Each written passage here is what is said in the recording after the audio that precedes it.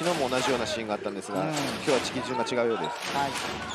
さあ佐藤へ。決めてきました。佐藤そしてサイズ。富山ゾーン継続ですね。富樫そこのゾーンを抜いてしかし一旦外へ。スリーポイント決まる。富樫選手の原持ち上げていくスリーポイントもあるがここは佐藤に預けてサイドから決めてきましいいたベースラインジャンパーだ。ここへ来て必要になってきたということになるかもしれません。藤永から長いパス向こう側渡って佐藤。あ第4クォーター最初の得点は千葉です。佐藤へ中サイズ原この距離から。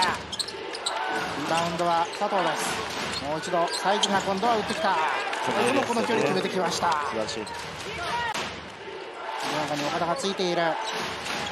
一旦外へ。佐藤この距離スリーポイント決めてきました。ワンドルジャンパー。佐藤。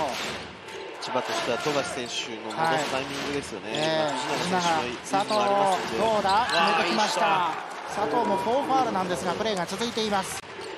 富樫。回して翔太一旦外へ。佐藤この距離で決めてきた。逆転。ました佐藤もスリーポイントシュートを決めています。ゾーンディフェンスを敷いている富山に対して